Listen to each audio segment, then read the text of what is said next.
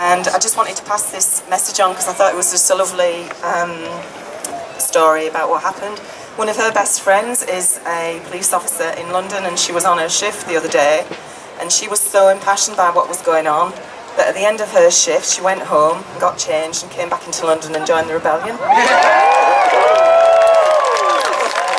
Just wanted to share that.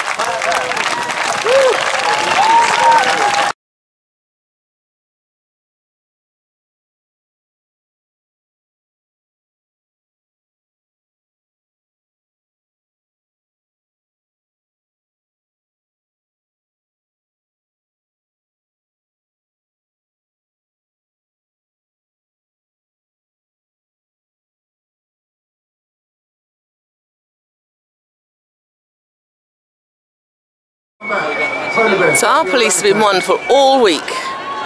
They've, these people, I don't blame them for demonstrating. I think they have a cause, but to bring a whole city to a standstill and not consider other people, and for our police to have to waste their time, four of them at a time, carrying heavy bodies back to a bridge and then come back again. They should get ambulance stretchers out, trolleys, and wheel them to wherever they're taking them, tie them on if they're afraid they'll be hurt. But our police should not be subjected to having to carry heavy bodies back and forwards for weeks on days on end.